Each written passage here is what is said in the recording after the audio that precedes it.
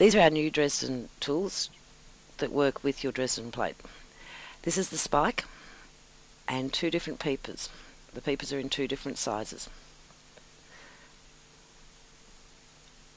Taking a strip of fabric, just cut as we do, cut out our spike.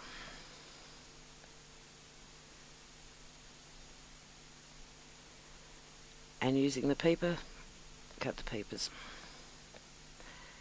The peepers are a very fine piece that's added into the Dresden plate.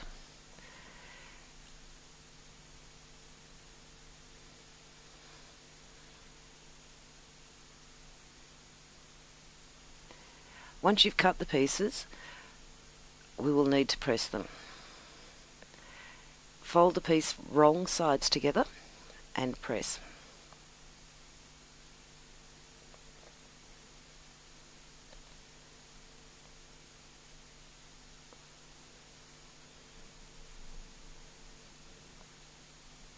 Do the same with the peepers. This is the small peeper. It's only a very small piece of fabric. Press carefully.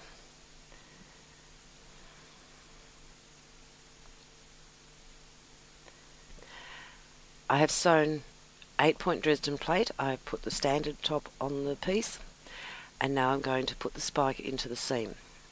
Align the spike just a little bit down from the top. I use glue now. I put a small line of glue down the edge of the seam and place the spike in place. And then I press to set the glue. I do this so that it makes it easy to put the next piece in place and pin in place for sewing. Make sure the top edge is aligned and pin. I will now sew this piece, back stitching at the start and sewing off to the end. Once it's been sewn, I have pressed it and then pressed the seam open at the back. Take a fine knitting needle or sharp object and I'm going to open the piece pressing that crease to the centre matching the seam underneath.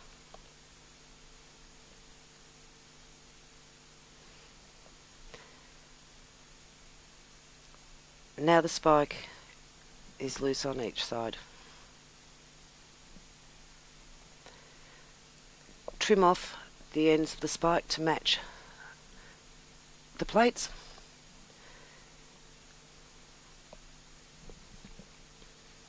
And now just sew the four pieces together. I could have the spike going in four of the seams or I can have the spike in eight of the seams.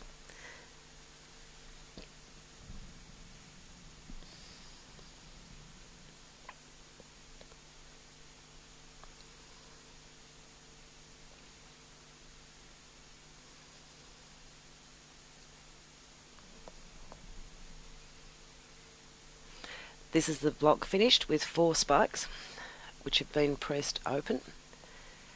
This block has a rounded point top and eight spikes pressed open. This block only has four spikes and I've pressed the spikes in one direction, pressing it to one side and then I've sewn the end of the spike into the seams. This is eight points pressed in one direction and sewn into the seams.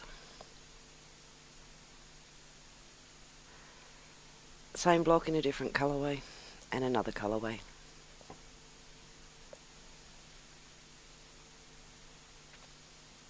Using the peepers, we use the peepers the same as we do the spike.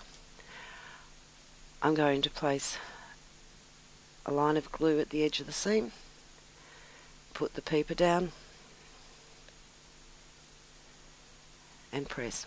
I can use one peeper or I can use two. Another line of glue. Place the peeper on top and press.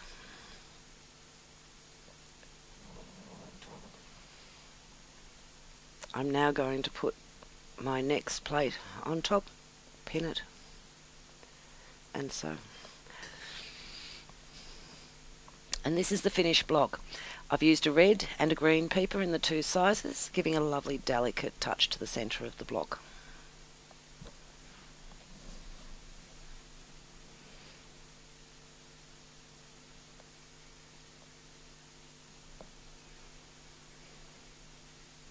In this block I've used the round point top. I've put two spikes into the centre, going pressed into the same direction, and I've used the round point top with a piece of scrap to cut my centre piece. This block has a spike and a peeper, both pressed into the centre of the block. This has a spike in the middle, which has been opened flat, and on the outside I've used spikes and pressed them both to the centre. This one has a two peepers in two different colours and I've pressed them in the same direction. This one I've used the spike and I've stitched in the middle and then pressed the pieces out, give me a lovely curved piece in this shape. In this one I've used the spike all pressed out. This one I've used the spike and I've pressed them to the centre and I've put them on alternating blocks. This one I've used a peeper, small peeper in the centre. This one I've got the spike and I've pressed the spike towards each other and I've used them only on four of the points. This is our new Dresden plate topper. It's topper number five and it's a lovely long thin elegant shape. This is using the Persian point topper and the rounded point topper and I've used a 12 inch and a 10 inch. I've sewn the pieces into the seam as I've gone.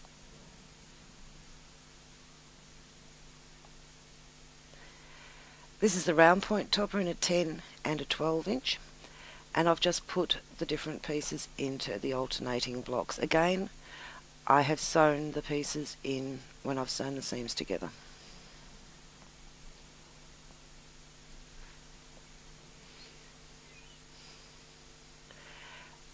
This one I've used a 12 point round point top and a 10 point round point top.